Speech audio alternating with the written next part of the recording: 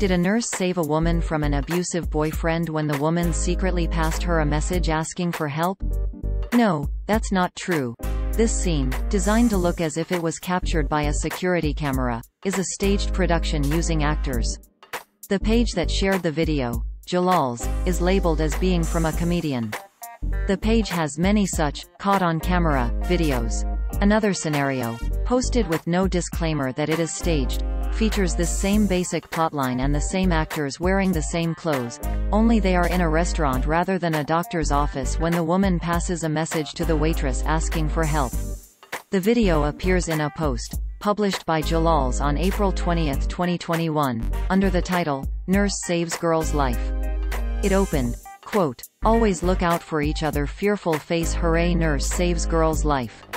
End quote. This is what the post looked like on Facebook at the time of writing. Source.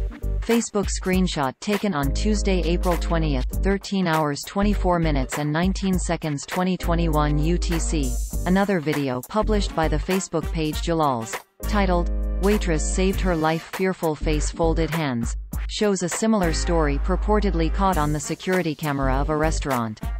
In both skits, the boyfriend reacts with jealousy when the woman glances at a man wearing a brown sweatshirt who walks past. Below are screenshots from both videos showing the actors in both scenarios. Source. Lead Stories comparison of Facebook screenshots taken on Tuesday, April 20, 13 hours 24 minutes and 51 seconds 2021 UTC. A situation similar to what is represented in these videos did really happen in Florida.